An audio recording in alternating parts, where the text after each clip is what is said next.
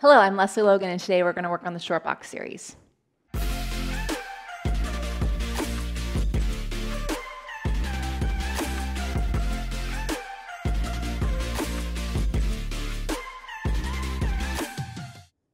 So um, I love the short box series. I know most people hate it.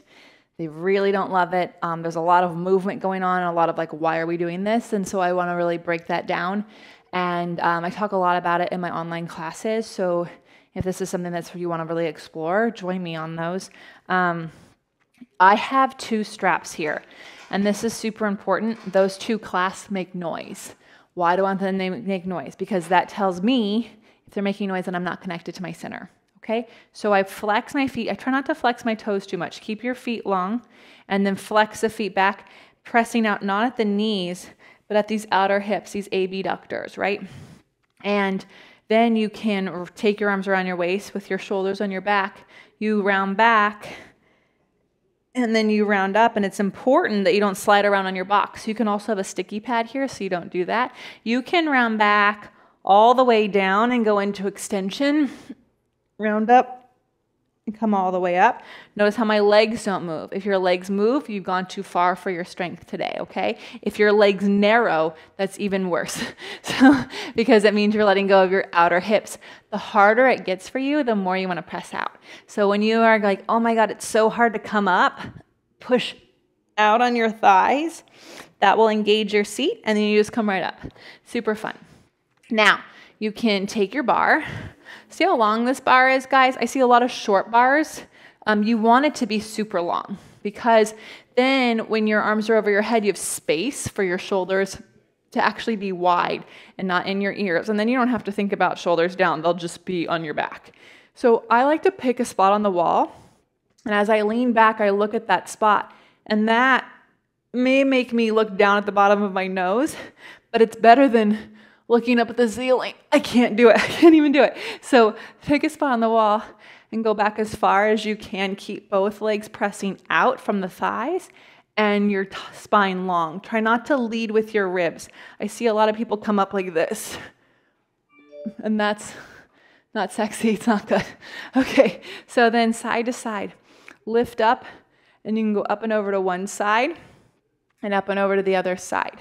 Something you want to be mindful of is that when you're going to the side, I'm just going to turn to you for a second. When you go to the side, don't do this, right? It's not in the arms, it's the waist. I could do it here without anything because I'm not, it's a really small, unexciting movement. it's pretty uh, frustrating because you just go little bit. Okay, now twist. You twist without moving your hips. You push out on both legs and you reach and you go as far as you can keep both sides long. So as I go to the right, I'm opening my left armpit more, but I got to keep my bottom waist super long, right? Super, super, super long. Mm, and then you can go around the world. You twist, you open up, you go to the other side. Make sure when you go around the world that you're not whipping your arm around. It's got to be from the waist. I see a lot of this happening. We don't want that. Sometimes I even think like when I'm twisting, I think arm back, rib forward. So it keeps my arm behind my ear, so to speak, so that I'm not tempted to do something like that.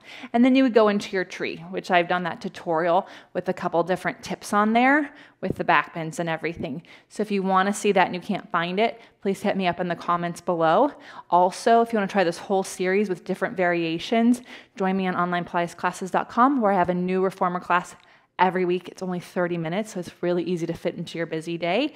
Thank you so much for watching this. Subscribe to this channel so you never miss a tutorial from me. See you next time. Hi, I'm Meredith, and I'm one of the people creating OnlinePilatesClasses.com. One of the things that I love most about this project is that we're building the very first free online catalog of Pilates exercise how-to videos. We release three new videos each week. People often leave comments asking Lesley to explain a specific exercise, and you can do that too.